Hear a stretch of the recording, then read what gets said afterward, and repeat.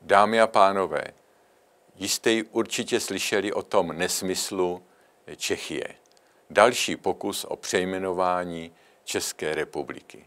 Kdysi bylo Československo, Československá republika, která patřila mezi deset nejvyspělejších zemí celé planety.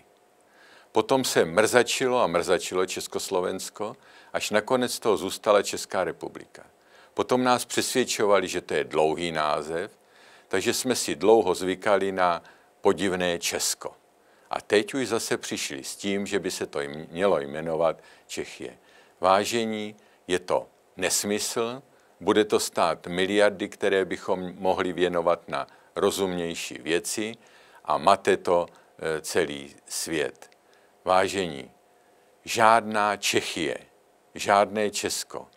Je to Česká republika, která se skládá ze zemí České a země Moravsko-Sleské zatím.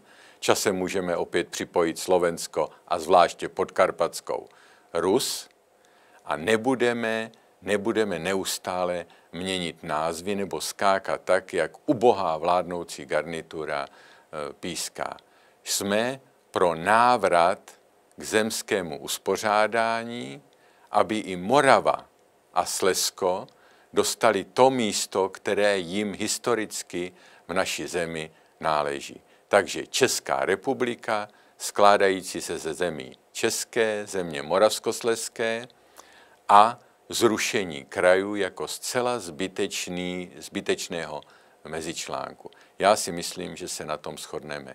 Pryč z Čechí a pryč s těmi, kdo si tento nesmysl vymysleli.